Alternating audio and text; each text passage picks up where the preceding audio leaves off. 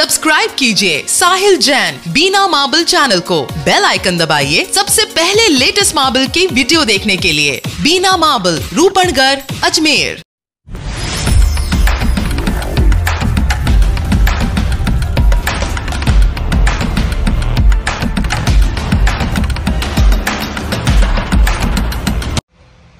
Hello नमस्कार, और मैं साहिल जैन। आप देख रहे हैं आपका अपना चैनल साहिल जैन, बिना मार्बल।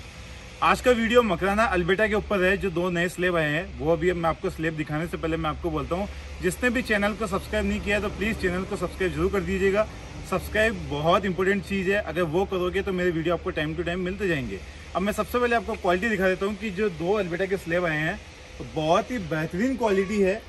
और मैं अभी आपको इसकी पॉलिश भी दिखाऊँगा, उससे पहले मैं आपको दोनों स्लेब को एकदम सामने से दिखा देता हूँ।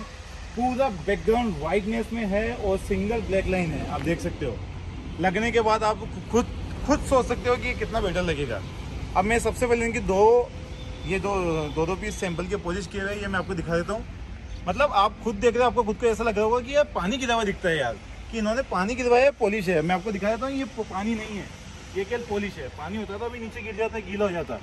बट सबसे मेन लोड की खास बात है, मैं आपको एक चीज़ दिखा देता हूँ कि ब्लैक लाइन यही है तो आगे से पीछे तक यही आएगी कोई ब्लैक लाइन अप डाउन नहीं होगी। और दोनों ही लोड 100 परसेंट फ्रेश है फुल वाइटनेस के है और बहुत ही रिजनेबल प्राइस में है। प्राइस मैं आपको व्हाट्सअप पे बता दूँगा, मैं वीडियोस में प्राइस नहीं बताता हूँ, क्योंकि अपना कंपनी का अलग अलग रूल है।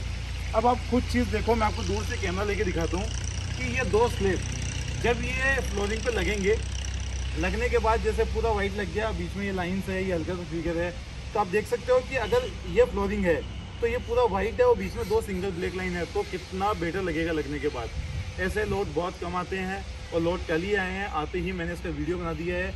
और आप शाइनिंग तो देख सकते हो क्रिस्टल आप देख सकते हो, सब चीज़ एकदम फाइन है। और मैं फिर बोल देता हूँ, बहुत रिजनेबल प्राइस में है। और इसमें तकरीबन मान के चलिए आप ये तीन से साढ़े तीन हज़ार स्क्वायर फीट माल है और साइज़ भी जम्बो है। मतलब इसका साइज़ मान के चलिए पाँच बाई पाँच पाँच बाई चार इनका साइज़ है। और बहुत ही बेहतरीन क्वालिटी है। मैं आपको फिर बोल देता हूँ, ऐसी क्वालिटी बार बार नहीं आती है।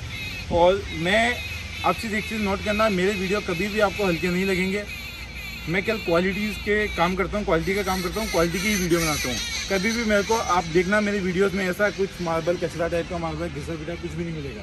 तो मैं आपको इसकी सबसे एक बार फिटनेस दिखा देता हूँ कि मतलब एक दो पीस को छोड़ दो, बाकी कोई भी खाना नहीं है। आगे से पीछे तक पूरा सेम है।